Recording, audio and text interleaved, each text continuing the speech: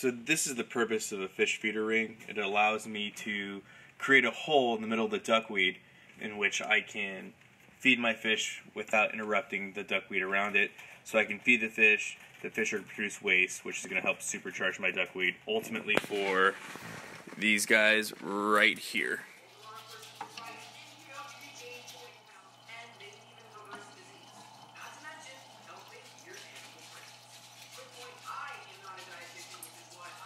So here we go. We start. We're starting to fill up the ice tray. I'm using an ice tray here. Each circle is approximately one ounce, and that gives us 21 ounces of high quality, high protein, super green, high calcium, you know, high fiber duckweed. Survival food right there. The rabbits are gonna love it. Well, truth be told, I like it too. everybody. It's the Millennial Prepster here. It's late at night, super tired. It's been a long week, but I've been putting this video off for way too long. I just need to get it out there. Super excited about this video, but you know, work happens, life happens. So I'm gonna get it out to you guys today. So we're talking about duckweed. Duckweed is the topic of, of discussion for this video, and for most people, duckweed is just this really unwanted, invasive weed aquatic weed that gets stuck in the water filters, is grows out of control, and people don't like it. And then you have my perspective, which is literally the polar opposite. Um, I can't I can't get enough duckweed. Duckweed for me, duckweed is a miracle super green, hands down, absolutely. No no ifs ands or buts. That's just my personal that's my personal take on duckweed. And so for me, duckweed is a an amazing food source. It's an amazing supplement, and most importantly, I think it's the most cost-effective renewable energy known to mankind currently. And by known to mankind, I literally mean you can run a vehicle off it. You can make biofuel out of duckweed. So, uh, like I said, I can go through this long, exhaustive list with you and just you know ramble off different facts about it. But I'm going to put that in the description, so you can look at the description with it's going to be bulleted, so you can look at an exhaustive list, and then the links to the literature will also be there. But I prefer just to tell you why I why I grow it, and I'll, I'll keep with the highlights that I think are most important, or that are most important to me. So I put it in every aquatic system that I have here on my homestead. So all my aquaponic systems have duckweed. All my aquariums have duckweed. Any place I can put duckweed and grow duckweed, I grow duckweed. So it's an amazing water filter. It's great for preventing mosquitoes it's going to layer the top surface of the water. It's going to prevent algae growth. It's going to reduce the evaporations of your body of water, which is super important because water is precious and you want to maintain and hold as much water as you possibly can. It's free food for you. It's free food for your animals. Um, it's great for compost. It's a great addition to compost. I'm going to say it one more time for added effect, so you hope you guys can retain it. It is an amazing addition to your compost. Duckweed, high quality duckweed, is 45% protein. 45% protein. I'm going to say that one more time as well. 45% protein. You're not going to get that from an animal source.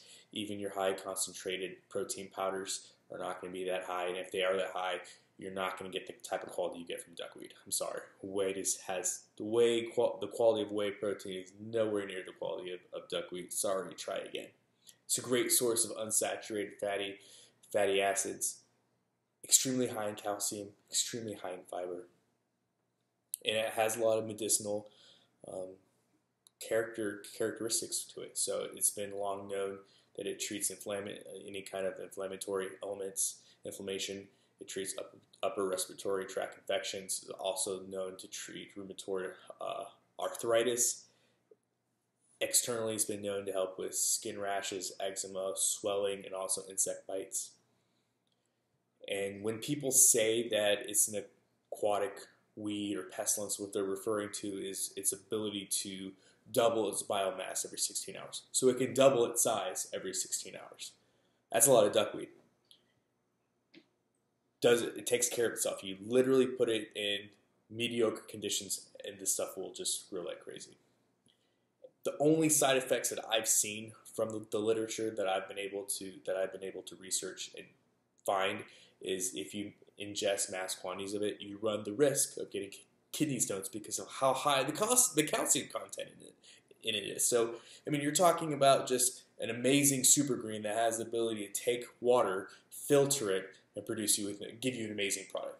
And those are the reasons why I love it, especially in the wintertime when I'm not able to, with my garden, produce as much uh, greens as, as, as, I would like.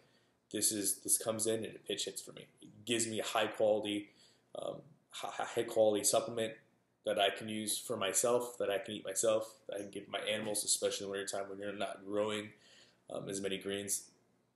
This will do this will do it for you. So, like I said, I, I can I can sit here and just go off all you know, just read an exhaustive list, but it'll be in the in the description below.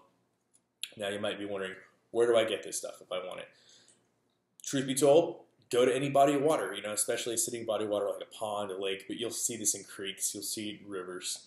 Um, but let's say you don't have a, a, you know body of water near you, go to your local pet store. Last time I went to the pet store, I mean, you go to the pet store, the stuff's going to be just crowding. It's going to be all over in, in, in, the aquariums. At least in my experience, that's what I've seen.